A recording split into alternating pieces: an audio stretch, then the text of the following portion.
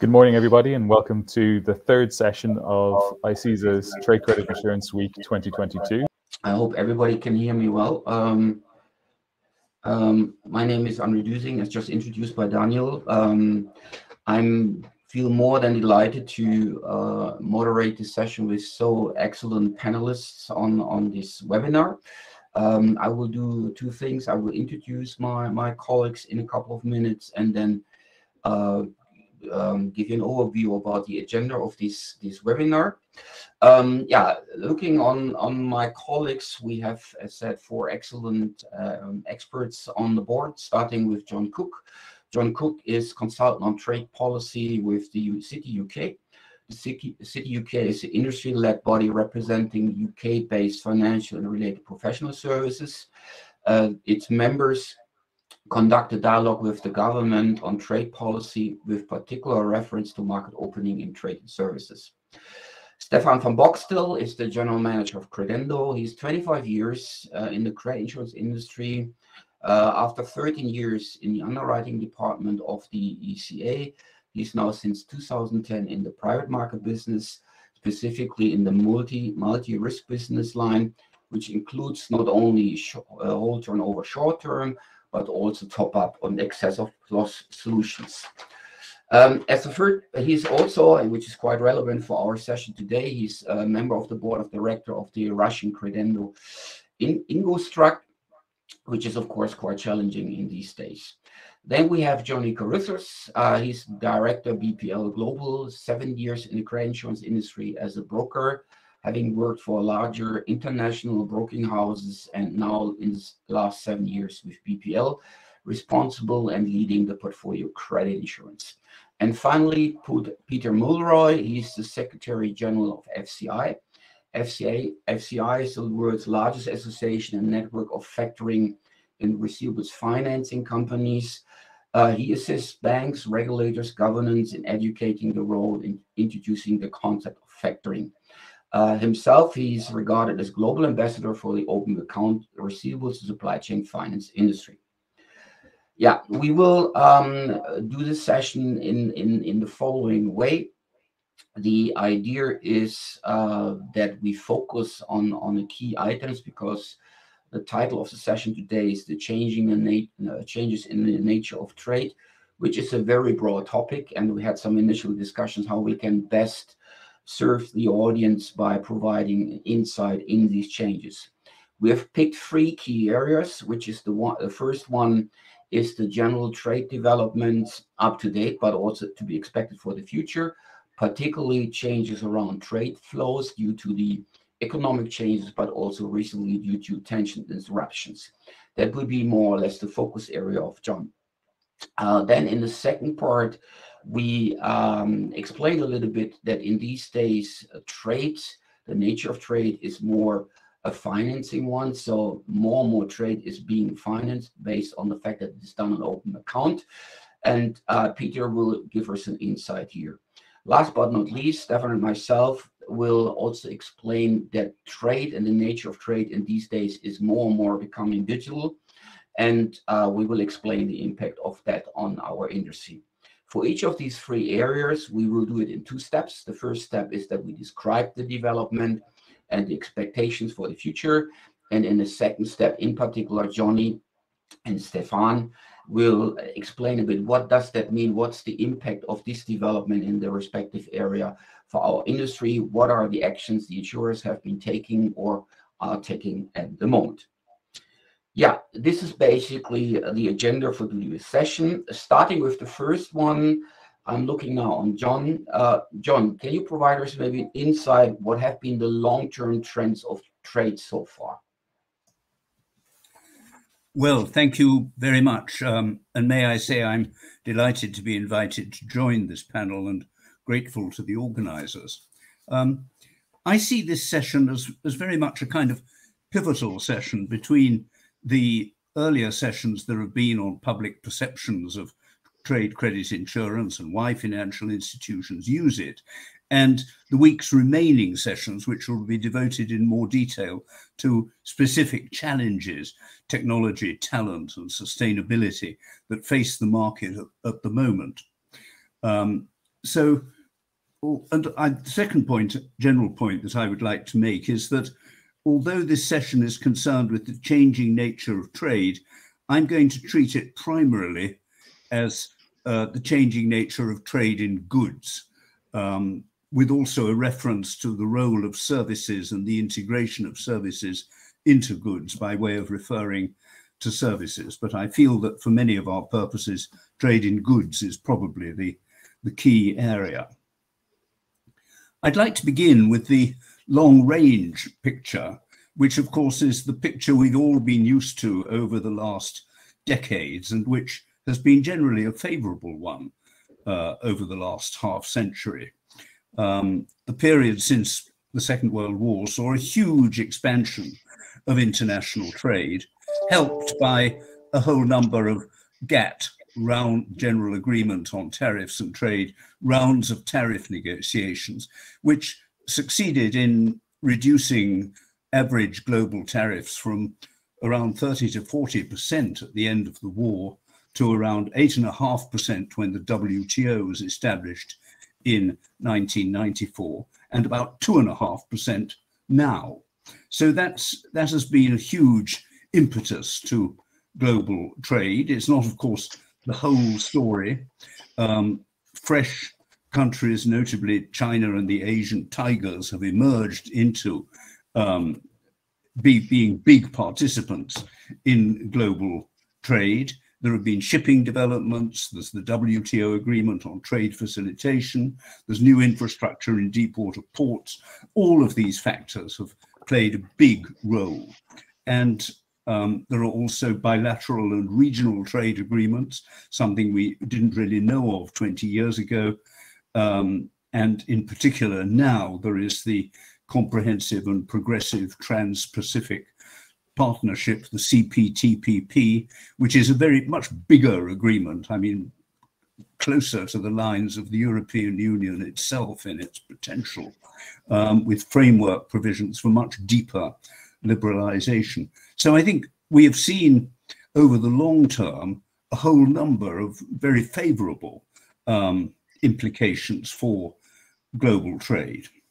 John, this sounds all very positive um, looking back, and I think you described it in, in a quite of uh, a very uh, rapidly increasing and improving uh, development. Um, so very positive, but recently we see also some issues, and particularly, how do you see, considering these recent issues, the future? Well, I think you're, you're absolutely right. There have been um, this favorable picture really has been very much disrupted over the last decade or so. First, we had the financial crisis in 2008.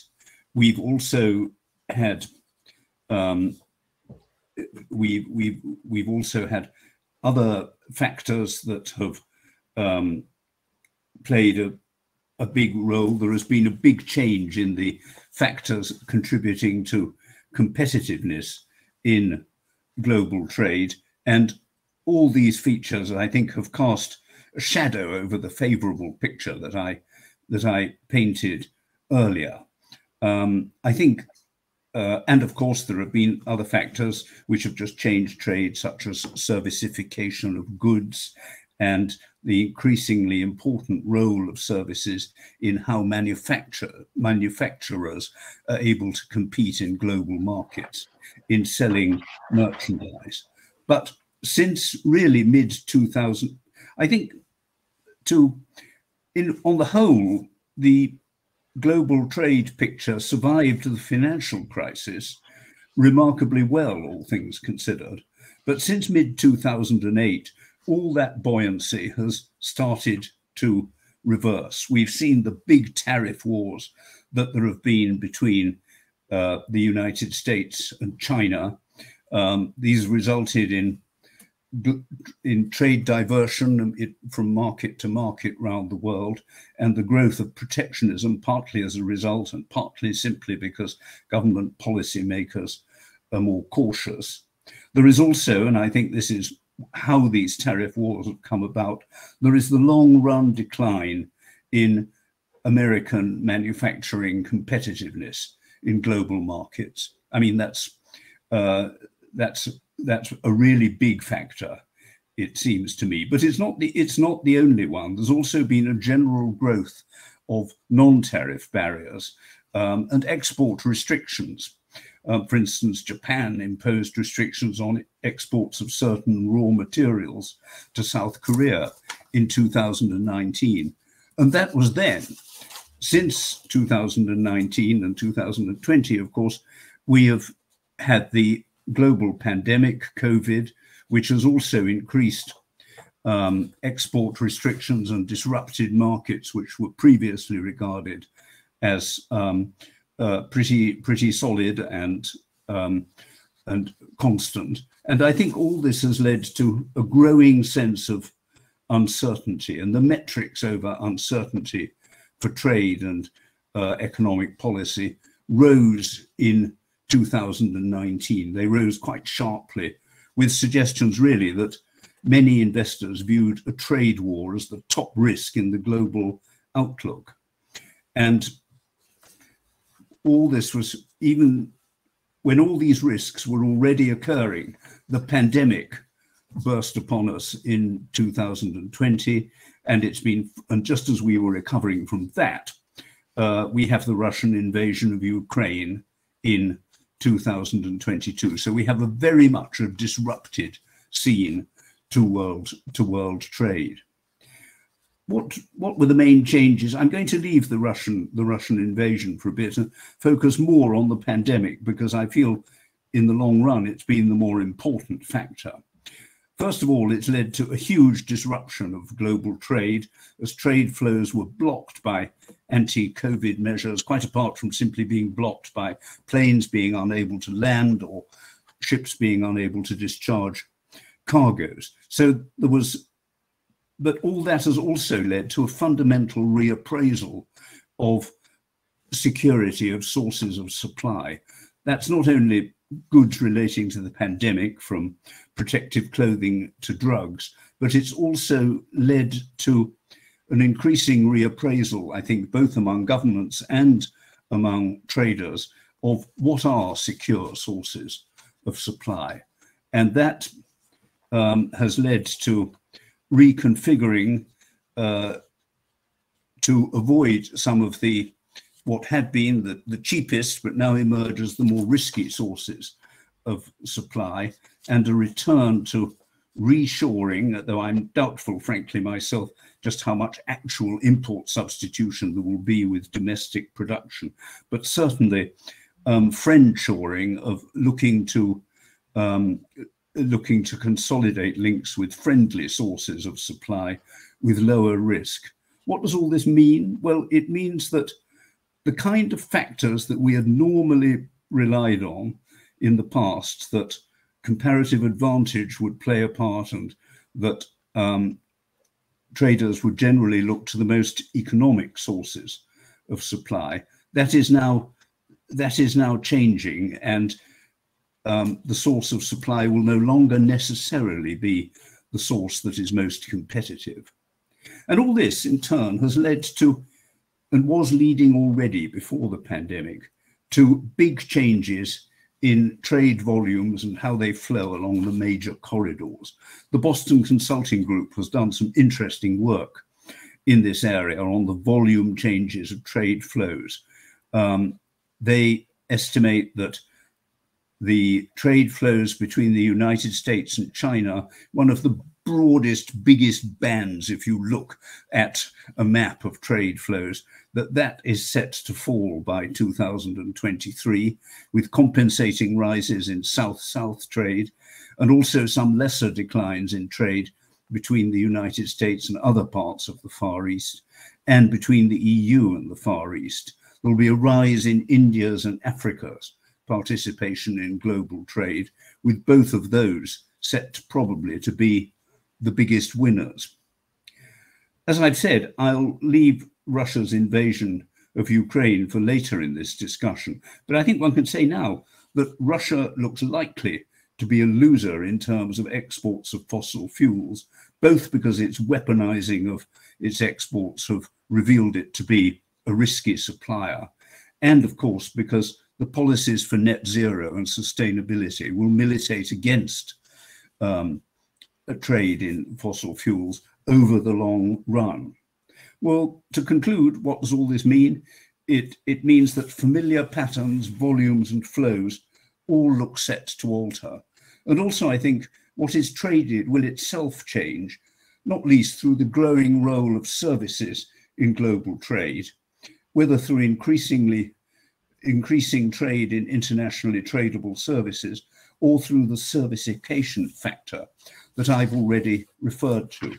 So those, Andre, are the, are the, the big changes that I would like to summarize.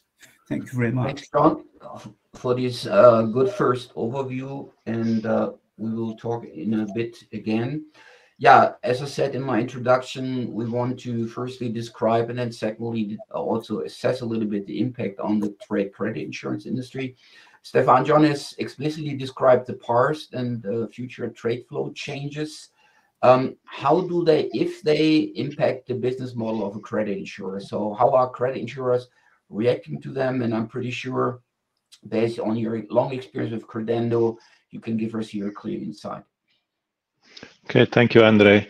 Well, first, let me express my gratitude for uh, having me in this panel. Uh, thank you for that, ICISA and colleagues for having me. It's a pleasure and an honor. Now, coming to the question, when I listened to John, um, all I can say is that as a credit insurer, we have to go with the flow. We undergo these evolutions and we have to adapt because we go where the client goes. We have to follow our customers. And we always have to adapt, whether it's going into the direction of globalization or deglobalization. Now, in terms of uh, or in times of globalization, just an example, a typical development of, let's say, a company from my home country, Belgium, would be to start up and start selling locally uh, on, on Belgian territory. And then after some time, decide to start exporting to neighboring countries, the Netherlands, Germany, France, which is still pretty much the same as selling in your home country. There is no currency risk, no political risk. Then uh, a few years later, decision can be taken to, to start exporting to, let's say, the Czech Republic. Then you have a layer of currency risk. And then in the next step, one could start to export towards Russia, Ukraine. Um, and then it's a completely different ballgame because on top of currency risk, you have political risk, which is clearly demonstrated by recent uh, events. Now, what does it mean for a credit insurer? Um, we follow that customer, um, and it has actually two major impacts. Um, doing business in, in, in the advanced world, in the mature markets, it's it's it has its challenges, but it's not extremely complicated. You need to have the knowledge, you have to develop the intelligence to do the business to run the business. But it becomes completely different when you start doing these things in emerging markets. You have to collect information, you have to develop knowledge and intelligence. So that's quite a challenge. Um, but we have to do it, otherwise, we cannot support that customer. On, business in, some more complicated, some more challenging markets. So that's the first um, layer of, complication, I would say, um, impacting our business models. The second one is from a regulatory nature. As a credit insurer, you cannot just um, arrive in whatever country and say we're going to start selling credit insurance policies here. You need to have a proper license in place. And in some countries, that can turn out to be extremely complicated, expensive, um, and sometimes even impossible because there can be a layer of protectionism involved. So we have to um, work on these challenges and knowing very well that uh, if I say that we have to follow the customer, we are bound to do that it might in some countries be excluded for us to do the business ourselves because we just cannot get the license. So then we have to turn um, to other solutions, and that can, for instance, be um, to team up with a partner, a local insurance company that has the license and is willing to share it with us, so-called fronting agreement. Now, whether it goes into the direction of uh, globalization, and yeah, these days, um, as John described, nearshoring, friendshoring, more pointing towards the direction of less globalization. We just have to adapt. Okay. Thanks, Stefan. Yeah, I can concur on the latter one. Um, I've been managing to open our Russian uh, uh, Russian subsidiary or Russian entity. It is quite a burden to uh, get a license in some countries, so I can also share that view from my experience. Uh, Johnny, um, what we have heard from John and also supported by Stefan makes clear that trade comes comes closer home. Um, what does that mean for the cover credit insurers have to provide? So the credit limits they have to issue because of this development. Yeah, good morning, everyone. Thanks for having me. Um, yeah, I think um, a consequence of this, you know, this nearshoring and reshoring of the supply chains actually puts quite a lot of upward pressure, additional upward pressure on open account credit limits as this trade moves a bit closer to home. If you take into account the uh, the inflationary pressures that everybody's under at the moment, things like the energy price increases, um, credit insurers are going to be asked to take on high levels of risk um, in these in these areas. Um, you know, the recent supply chain, chain disruptions have also challenged you know, the more traditional you know, just-in-time uh, models, um, meaning that once you uh, add this new or friendshoring into the mix, it means that there's going to be increased requirements for stocks to be held. Um, there's a cost implication of that, of course, but also it again adds to that upwards pressure on what the credit limit requirements may well be and the requested limits that credit insurers are asked to consider. Um, this isn't new. I mean, the, the credit insurance market is already challenged uh, whenever there's a spike in things like the oil price, for example. You know, the same volumes are being traded, but the monetary value um, can increase and can increase quite quickly. Um, uh, so I think the future proofing of uh, the buyer risks from a risk underwriting perspective, the analysis that is done by credit insurers on how the buyers are geared up to um, survive in the in the uncertain future um, is going to be under increased scrutiny following COVID. You know, everyone's 2020 financials were were challenging because of the, uh, the, the slowdown in trade that happened there. Um, so I think these models are going to be tested even more over the coming months. So this future-proofing aspect, how will how will these risks be able to weather the coming storms? That's going to be really in focus, I think, for credit insurers as time goes on. Thank you so much, Johnny. Um, yeah, now we we come to the second round with John. Um, I think you alluded already to the uh, current tensions and uh, disruptions. Um, if we would deep dive a little bit more on the long-term view with regard to these tensions, disruptions, how have they come about, and and uh, what are their key driving factors, or what have been their key driving factors? Um, well, thank you it's quite a difficult question, and any answer is almost bound to be, to some extent, personal. Um, I would give quite a bit of prominence to um, the role of the United States. I mean, for a very long time, the United States was the dominant global player in trade. But now its economic power is steadily reducing as other competitors rise up. And I feel that this has resulted in, um, you know, an uncertainty among United States policymakers and a lack of confidence and a wish to reassert economic heft and that President Trump's tariffs tariff measures have to be seen in that sort of light as part of a a show of strength. Um, this isn't an unknown phenomenon. I mean, 100 years ago, when Britain was suffering the same sort of decline in the face of American competition, that was the moment when Joe Chamberlain spoke about tariff reform, which really meant an increasing degree of protectionism and reliance on imperial preference and Commonwealth preference, again, which is a kind of friendshoring, trading with your own markets, markets that you can control rather more. And I think we're seeing that kind of factor coming over um, world trade. The EU has been less assertive in that sort of way, um, but equally, Commission statements have been made have made clear that 90% um, of future global growth will take place outside the EU, and EU policies must adapt accordingly. And more recently, we have seen in the EU um, a wish for greater strategic autonomy and measures against uh, what, what is called coercion, which is, um, say, Chinese efforts to boycott exports from Lithuania because the Lithuanians um, uh, said favorable things about the Dalai Lama. I mean, these are um, so many countries are showing in different ways the need to take defensive measures of, of one sort or another. Uh, China is a growing power, but it's one of the features of its economy is that it, the, the metrics are not necessarily, and the trends are not necessarily transparent. And so in China, we have uh, current fears over unsustainable levels of Chinese domestic investment in the property market with uncertainty about whether there can be a soft landing for those sorts of factors. So I think there are there are many underlying tensions in um, global trade and uh, jostling for position. And alongside these, of course, there is there are all the pressures for sustainability and the approach to net zero in all its forms.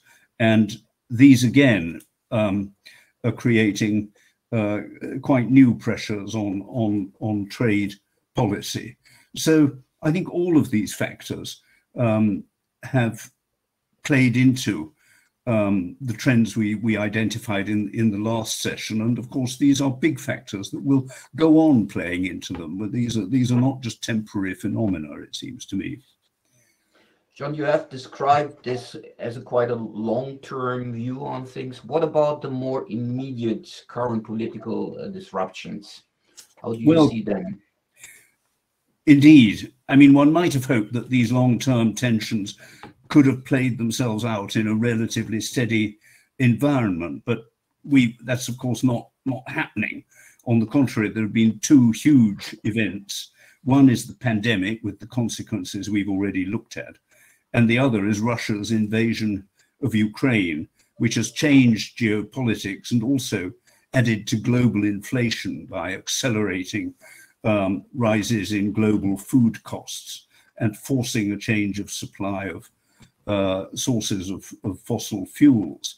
And of course, uh, Russia's war against Ukraine has also brought about unprecedented levels of sanctions against Russia. And these are sanctions which um, politicians may proclaim, but very often it actually falls to traders to implement them and to comply with them. And um, the need actually for traders to make clear to governments whether whether sanctions can be implemented and what the effects will be.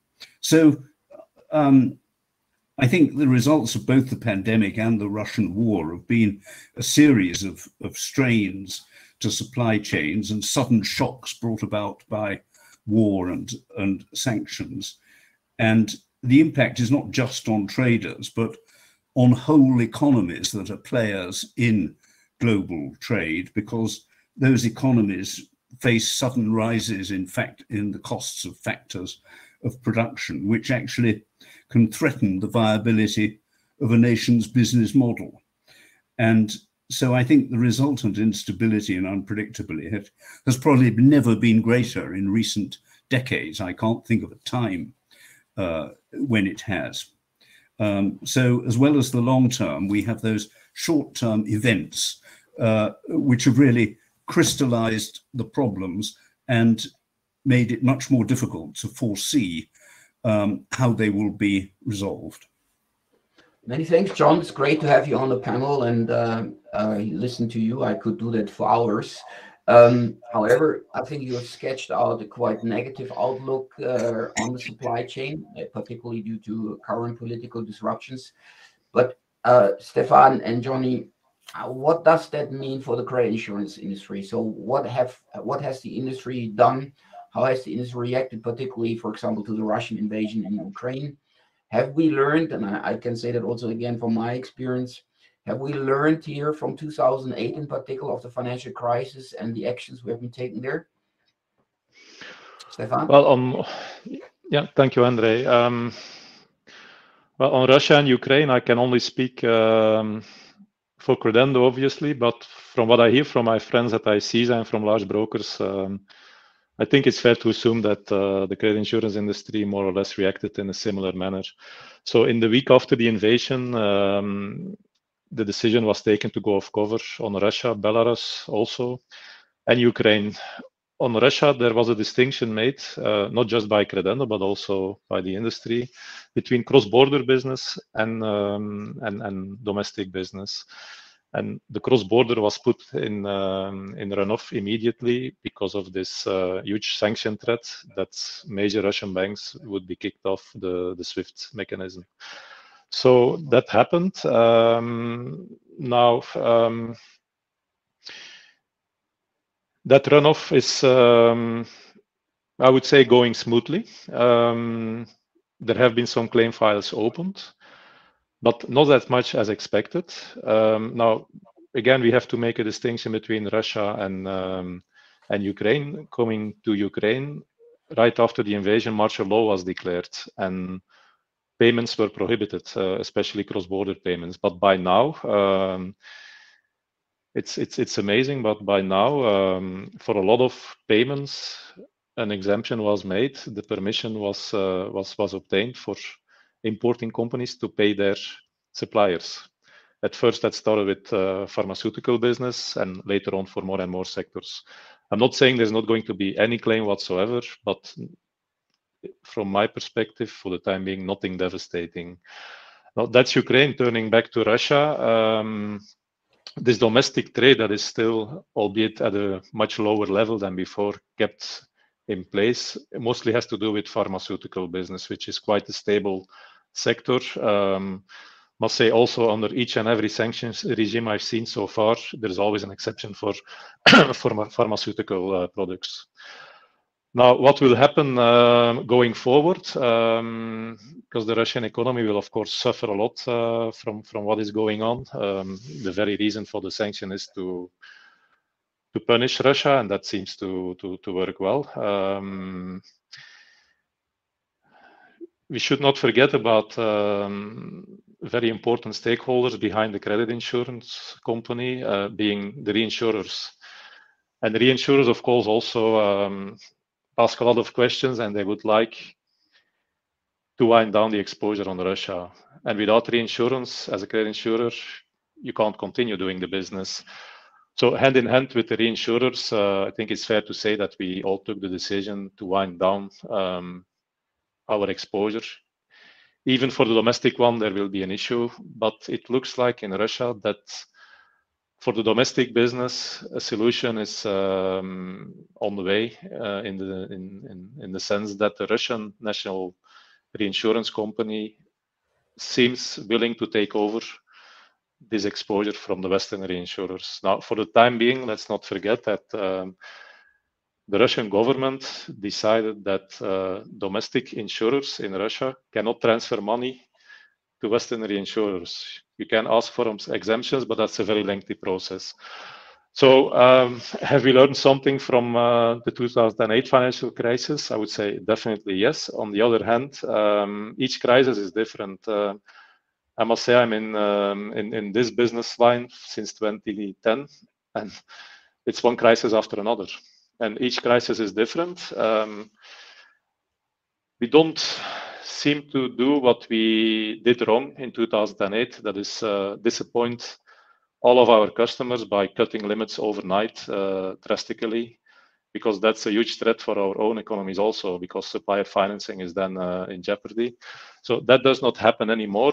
We do it more gradually in a, in a more sophisticated way. But yeah, as with globalization and deglobalization, these flows, um, whatever crisis comes up, we also have to adapt. We cannot just continue doing business as if nothing happens. But we have to be careful with our industry that we don't get this um, blame game that um, we take away the umbrella when it starts to rain. So we have to be a little bit cautious. Now, this being said, um, customers did accept our position on Russia and Ukraine so far. Um, it's such a crisis. It's it's of such an impact, and it's so obvious that uh, clients they they, they do accept that uh, you put the exposure in runoff. Thanks, Stefan. It sounds like that uh, although it was a challenge, as described by John, Credendo did quite well in in, uh, in handling it. Um, Johnny, you have as a broker a much broader view on the industry, and uh, Stefan has already hinted on that a little bit. How do you see that for all the other credit insurers? and the industry in, in, as a whole. Can you confirm Stefan's view? Um, yeah, I think that um, the wider credit insurance market did react in a pretty similar way to Credendo. I think there was that immediate suspension of cover for sales to Russian companies by the whole turnover market, with some very limited exceptions. Um, wasn't really protested on the whole by policyholders. Again, I think everyone's in the same boat when it comes to accepting that the relationship and trading with Russia has to change. Um, and for those non-cancelable excess of loss policies, then you know, the, the, due diligence obligations really kicked in at that stage as well. So uh, insureds were, you know, there would have been some conversations happening around um, what the exposures were like and what the ongoing trade was likely to be under um, uh, under those policies. But you know, generally speaking, then everyone would have you know, stopped as, as, as we saw the global trade with Russia did did more or less uh, halt overnight. Um, uh, there was then a second phase actually, where um, once once that had, happened, where the, the sort of the, the non-Russian businesses, but in places like you know, Cyprus and Switzerland, where there was uh, you know a Russian ownership link, um, where there was maybe a little bit more investigation needed to happen around um, you know, would there, you know, navigating the, you know, the sanctions regulations that were ever changing as well, really just making sure that, um, you know, any trade that was still allowed was being done so above board and, and, and with everybody um, agreeing that it was uh, acceptable. Um, but with the same, ultimately, the same result on the whole. You know, ultimately, you know, if it, anybody who was seen to be trying to um, uh, avoid the regulations wasn't going to get very far, so it was all very done, you know, very, uh, uh, very nice way. I think everyone understood. Um, and right now, then, yeah, I mean, insurance on sales to Russia and Belarus is, is going to be basically a no-go. Um, uh, we have seen, um, in some selected circumstances, uh, trade with with you know, mainly Western Ukrainian businesses, and still happening, which I think Stefan also alluded to that it's uh, you know it, it, it's not didn't get quite as bad for for Ukraine in terms of the credit insurance industry as as perhaps it could have done at this moment in time, um, but still very limited. Um, and then I guess the question then becomes what happens to to those open balances that were in place before before the invasion. Um, some payments have been received, some money has flowed out of, of Russia in particular in the meantime. Um, that's really dependent on, on the banks involved. Um, there are some quite serious backlogs within within the, the non-Russian banks um, uh, in getting payments approved. You know, through their compliance departments, obviously everyone's being very careful given the you know the sanctions regimes no one wants to fall foul of that. And even where um, a Russian buyer is wanting to pay their overseas suppliers, um, there are still obstacles in place. So this isn't necessarily about a, a willful default. This is about you know Russian Russian just wanting to, to pay their debts as they can due, but not being able to due to the blockages in the banking. Um, it's as straightforward as you might uh, be able to swap swap banks to a to a more agreeable bank if, if yours happens to be suffering. So um, there are some blockages in the system there for sure. Um, we're also approaching now um, the period where the kind of typical six months or so waiting periods are, are coming to an end. Uh, so what that means is that uh, clients will need to make a decision about whether they request indemnification for their insurers right now, or perhaps they wait a little longer if they're expecting that payment might be imminent. Uh, but those are those are the conversations that are happening, kind of starting around now. Um, it has been quite widely reported, I think, that you know, the overall expected market losses towards the uh, the Russia-Ukraine conflict um, will be acceptable for insurers in terms of uh, it's not going to significantly affect the, the, the livelihood or results of any of the any of the major insurers. It's uh, you know, the, the, numbers are still quite large. The exposure is still quite large, but I think um, never got to the pre 2008 levels. So it's something where um, you know it's not going to make a massive dent in the industry in that respect. Yeah. Um, there are, of course, also some some um, single risk policies you know, with longer tenors where maturities still haven't happened yet. You know, some of these policies, you know, the maturities may not happen until you know, for two, three years, even longer from now. Um, so, of course, then there's a bit of a waiting game to see how things unfold in the meantime. Um, and finally, I think we, have also seen this trend, and again, Stefan mentioned you know, what's happening at Credendo. You know, the, the, the, the, credit insurers, the multinational credit insurers, and the larger brokers have all um, taken some steps to, to shut down their operations in Russia, um, either by um, selling their you know, the, the, ownership stakes to local businesses or even handing handing the ownership of those operations to to local management, and that's something which I think is a result result of this conflict. That's something that, that has, absolutely happened.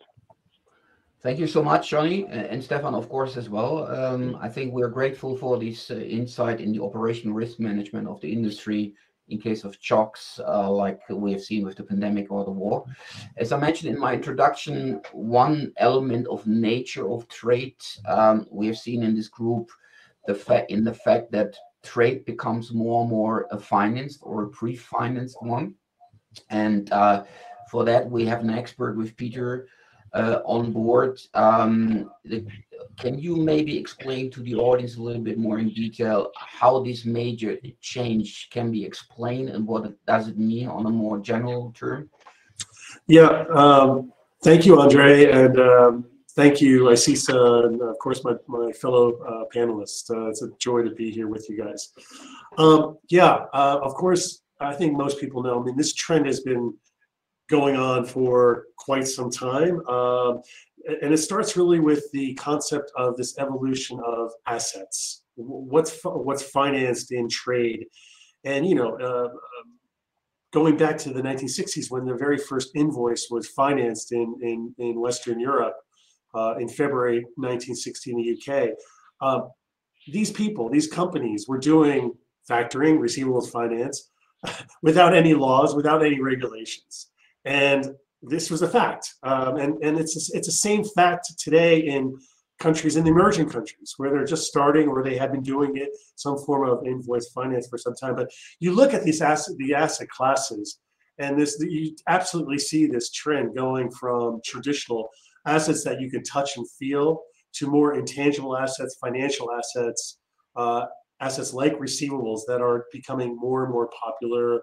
Uh, and you can see that uh, as well, absolutely, of course, in the volume. Um, you know, it goes from a, a, scenario where where the you, you have a lender and a borrower, you know, a, a two-way street, so to speak. And now you have this world where uh, banks, uh, um, uh, sellers and buyers are working together, uh, either you know, some form of receivables structure uh, and uh, and this triangle. Uh, so where you're, you're funding a, a seller, a, a, company, but your source of repayment is a, a different company, uh, the, the buyer, the customer, of the seller. Um, yeah, it, it, it, we take it for granted in the West, but in many countries in the emerging markets, this is completely new, and so it's it's still evolving. It's still, uh, and that's where we spend so much of our our time uh, in FCI helping these countries. And in fact, if you go to almost all countries in the world, FCI has been there sprinkling, you know, the initial seeds. Um, and we're doing this. We have projects in something like 20 countries today. Of course, the, uh, the challenge is the legal infrastructure. Uh, and and ensuring that the proper laws and regulations are in, in, intact, and not just, of course, for for the factoring and receivables finance industry to, to ensure that that receivable can be transferred, can be uh, perfected, can uh, that, that the rights of those receivables are transferred to the third party. Um, uh, but it's also relating to regulations and it benefits, of course, the credit insurance industry as well. Um, you have two scenarios in receivables. You have the receivables purchase that includes factoring, uh, forfaiting, uh, receivables discounting, and of course, uh, what we see this huge rise in supply chain finance or reverse factoring payables financing, some of them call it. Uh, and then the loan products, asset-based lending, which um, you know right now is predominantly practiced in the U.S., uh, uh, U.K., and uh, also Netherlands, and some other countries. Uh, distributor finance uh, and as well pre-shipment finance, which you were talking about, the pre-shipment purchase order and all. Bain did a study that we've we've used uh, quite quite often, uh, showed quite often, which they estimated that I think by 2023, uh, over the uh, uh, over the past 10 years, that there will be a growth in uh, total trade uh, uh, open account accounting for 90 percent of that of that figure. So you know. We did have, I think, to Stefan's comments earlier, all these crises um, you know, and of course it's been impeded. Uh, we've seen GDP slow. We've seen international trade slow. So, uh, so I don't really know today exactly what that percentage is, but it's probably somewhere between 80 and 90 percent, which means Here, so course, yeah, yeah. In, in the end, uh, trade becomes more and more an open account and finance trade. Yes. And um, can you give us an idea about the magnitude also going forward? How much did receivable supply chain financing grow, and what kind of growth rate do you see for the future? Yeah, I mean, uh, uh, thank you, Andre. The the factoring industry today uh, is about 3.5 trillion. If you go back to 2009, it was 1.2 trillion, 1.3 trillion. So, you know, it's grown almost threefold in this period of time. It's been astronomical. Um, compounded growth rate of 8.2% over the past 20 years. Um, if you compare that to um, other trade products, like, for example, letters of credit. Letters of credit is about 2.7 trillion. It's been growing at around, you know, flat to a little less.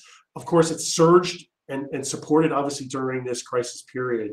Uh, credit insurance has been growing about 5.3%. So it just gives you an idea. Uh, world exports at 2.3%. This is over the past 10 years. Um, so yeah, I mean, it's it's open account is absolutely the I call it the the green shoots or the green field of many financial institutions where they don't have receivables products yet. Uh, it is it is the future. Um, in terms of, um, you know, why, uh, just in the last year, we saw in 2021 a close to 14% growth rate in the factoring and receivables finance industry. Um, this year alone, uh, we just reported in June that the in the European Union, it's grown by 22%. So these are figures we we haven't seen. Uh, I mean, this is kind of unbelievable. But if you go back for the last 100 years, after every crisis, you see open account receivables products doing extremely well. Uh, and I can give percentages. I won't I won't bore you with the data. But after the after the Great Depression in the U.S., it grew by 14%. After the Great Recession, it grew by uh, 9% compounded. So yes, it's a very, very good time to be in this in this sector. Peter, this sounds quite impressive. Um, so it is more or less, uh, as I said, uh, going to the 100% of financing of trade. Um, question is is again to Stefan. What does that mean for the credit insurance industry? Are factoring or reverse factoring uh, competitive or substitute products? Do they work together? And how does the industry, um, yeah, basically deal with the fact that there might be an increased concentration of risk on certain buyer groups because of this trend that trade becomes more or less a finance trade? Yes, thank you, Andre. Well, as as Peter just uh, clearly pointed out, there is a correlation in the growth rate of uh, factoring and credit insurance. So I would not dare to say that we are um, competing or substituting each other. I would rather arrive at the conclusion that we work nicely together, although our interests are not always 100% aligned. Now, it's not just about the interests of the factoring company and the credit insurer. Let's not forget that there is also a seller in uh, in the game. And it's always a nice round of negotiation uh, to align the interests of these three parties. Um, now, on the ways we work together, um, there is a variety of solutions uh, that can be put in place that can go from a simple loss payee clause, where where the factoring company is the beneficiary of of of the the claim payout. That can be, a, let's say, something in the middle between a loss payee clause and being the direct uh, beneficiary of the of the policy as an insured. So the factoring company becomes the insured. There is something in between, um, like a loss payee clause with, with some step-in rights. But um, yeah, we're all under some um, some kind of regulation, regulation, regulatory framework. And for the the factoring companies and banks, financing institutions, um, the the capital requirements regulation, the CRR, is is very important, and they they want to be as compliant as possible. Now, the thing is that not each and every factoring company has the same interpretation of these CRR rules. So that's also a nice layer of negotiation that comes in play. But um, all this being said, um, at the end of the discussions, um, it's fair to say that not each party has 100% of its interests uh, covered. A seller, he has a commercial relationship with his buyer. So there can always be a hiccup for whatever reason. And the seller can have very good reasons not to claim right away under the insurance policy because that also has consequences on its own. The factoring company would like to have a self-liquidating financing mechanism in place. So if the buyer does not pay, then the factoring company would like to turn towards the credit insurer and collect the money there. And the credit insurer, he likes to be on top of the risk exposure and manage the risk himself also. Um, just um, one example, in a, in, in a direct uh, relationship with the seller, a credit insurer would have these protective mechanisms like a stop delivery when there is a payment hiccup. Now, that does not work out well if you cover a factoring company directly. So all these interests, and there is room for negotiation. There are some financial engineerings uh, taking place uh, every day. So we have to align our interests. Um, we team up, but at the end of the day, it's like the Rolling Stones sing. Uh, not everybody gets satisfaction. So, so there are some uh, means, some things. It means pushing a little bit for the time. My apologies, Stefan. In the end, it yeah. means that coming back to the answer that uh, that basically uh, uh, financing, so trade becoming more and more finance trade is driving also the demand for credit insurance. Of course, uh, uh, interest needs to be light because there's a third party with the bank and the funder. Um, Johnny, do you share Stefan's view on, on this one? Uh, yeah, I think that the, um, the, the insurance and invoice financing industries are complementary in many ways. I think just due to the nature of the number of credit insurance policies that are purchased by financiers, then you know, that competition can sometimes be quite minimal altogether. Um, and as Stefan says, there is a there is a spectrum of where the financing entity sits within the insurance relationship. Um, the, the, closer they are to the insurer and that as being a policyholder, the more control they have over things like the policy wording. Uh, but that's not always desirable. I think that for, for many corporates who hold a long-standing relationship with a trade credit insurer, uh, they may want to retain that themselves. Um, they may only be financing a portion of their receivables, and so um, there's many reasons why that would happen. Um, it is quite a broad topic, um, and I think that you know, there's a lot of work has been and taken over recent years um, with regards to um, uh, that balance with uh, uh, banks trying to get the regulatory capital relief whilst keeping everyone's interests aligned with between the clients and the credit insurers. And um, insurers, the insurance market has stepped up to this. There's increasingly dedicated teams within large credit insurers who deal with this sort of business, understand that the policy wording needs to be slightly different, and the way in which this insurance is approached has a slightly different track to you know, your standard corporate insurer relationship. Um, and on the concentration point, I think that you know uh, syndication absolutely can be a solution. Um, you know, traditionally the whole turnover in credit insurers uh, haven't always wanted to to share that risk with their competition.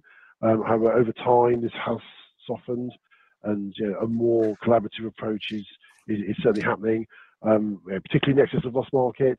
Um, but there are always some complexities that will be added once you add extra parties to the uh, to the mix. And so I think you know it's important to be very clear on what those roles and responsibilities are, and to make sure that the wording of the policy reflects exactly what's going on. Thank you, Johnny. Um, Andre, thank you so much for uh, the excellent way in moderating this session. But now I have a question for you. As you are an expert in the area, um, where do you see the relevance of digitalization for the nature of trade? Thanks, Stefan. Yeah, I think in essence, I see two key uh, developments. The first one is that that goods, physical goods, are more and more replaced by services, software. Know, a very classical example, of course. Everybody knows CDs, at least the, the older ones amongst us, and DVDs. They're replaced basically by software, by apps, you know, Spotify.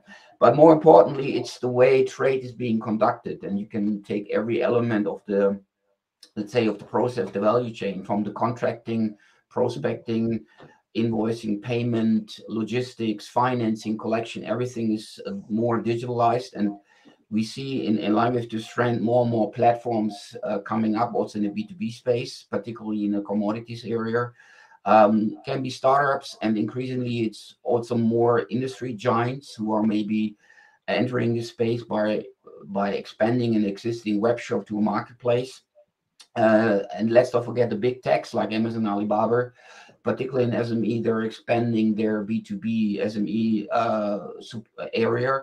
And um, yeah, and uh, the number of clients uh, of SMEs uh, registering on Amazon, for example, is increasing drastically, all driven by the ecosystem. Ecosystem logic, and I think it's relevant, very relevant for us that it's not only the trade, it is basically everything connected to the trade managed via these kind of digital platforms. Yeah. Um, so the idea is, as we everybody as everybody knows from his or her own private experience, you go to Amazon and everything you need, like the transport, the insurance, the payment, the financing, is provided by one by one platform basically. What does it mean in general? Uh, greater global reach. Um, that is a little bit countering the effect we see uh, John described. So it, it increases globalization. Platform business increases globalization. It makes markets more transparent. Um, everything is provided by one platform. So there is the risk that that uh, some big companies are creating an oligopoly or monopole even. And I think maybe relevant for our industry might be is that data is being collected via these trading platforms and these data, is because it's not only about contracting data, it's about payment data, defaulting data, collection data. Uh, there's a lot of data uh, collected on these trading platforms, and that can be used also for other purposes. Yeah. Um, yeah, in the end, uh, there's a lot going on on the digital trade area. Okay, thank you, Andre. In the interest of time, um, we should more or less start to, to close the session. But if you allow me, I have one more question for you because it seems what we all have seen in the consumer and the business to consumer industries will also happen in the B2B area. Now, what does the trade digitalization, as you have just described it, mean for the trade credit insurance and finance industry? Yeah, it is maybe not yet really urgent, but it takes also time. I think the expectation everybody has as a private consumer going this platform will be also the expectation towards us in industry. So we need to integrate with these kind of platforms and ecosystems. And uh, as if I'm talking about my employer, we have been doing a lot in this space in trying to integrate with platforms like Chemix or MetalsHub, which is the biggest metal platform of the world. Uh, connectivity will play a big role. So a set of uh, libraries uh, and of APIs, as I always say, uh, APIs are the engine of ecosystems. So every credit insurer should develop these APIs. Yeah? So in the end, um, all these data collected on these platforms, and Amazon is a good example here, might be used uh, for developing own models, risk models. So there is the threat that maybe one of these big players will try to disrupt our business model. Yeah. Yeah, as you said, uh, Stefan, we are about to close the session because we have 11 o'clock. Um, I have to say a great thank you also on behalf of our ICISA to all of you. I think it was a great session. Uh, I'm delighted by all your input and uh, I think we have been able to bring across a couple of areas where the nature of trade is changing. And um, yeah, I think it is an opportunity as always, but there are some stretch, strings attached. And uh, so far the industry is doing very fine in coping with challenge, these challenges going forward. Thank you very much, Andre, and thank you very much to John, Stefan, uh, Johnny, and Peter. I think that was a, a, really, really enlightening conversation. I think you covered a, a, lot of ground. We had a couple of questions come in, um, but I think I think a lot of those were, were covered. But I think there's plenty of ground for future conversations on this topic. Um, but once again, thank you to everyone, and in particular to Andre for uh, for ch for chairing and moderating this this session. That uh, ends our morning session. Uh, we have actually two more sessions later today, one at uh, 3 p.m. European time. That's on the current trends and evolution in the TCI market. That's looking at a lot of different changes in distribution and um, the way the market is performing and, and operating uh, from now into the future. And that's moderated by Stuart Lawson of Aon Credit Solutions. And then in the evening, for those of you who are uh, totally obsessed with credit insurance on the European side, we've got an update on the uh, the US market, so developments of the US credit insurance market. That should be a really interesting discussion. The the market there is is is very interesting, um, and hopefully some of you can join us. If you can't, be sure to register so you get updated about when you can view the session again later. Um, but uh, with that, I'll thank you all. Uh, thank you again to our panelists, and hope to see you later. Thank you. Bye. Bye. Thank you. Bye.